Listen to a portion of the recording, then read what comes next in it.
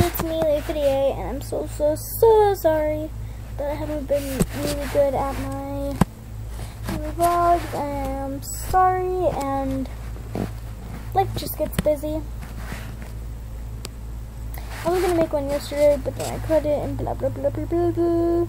And if any of you guys have a really good like recording thing or editor, I'd really really appreciate that because I really need a video that I can just, well, I just need an editor that I can use so that it makes it easier on my life for me. Update on the bedding. It's still alive. I don't know why I said that.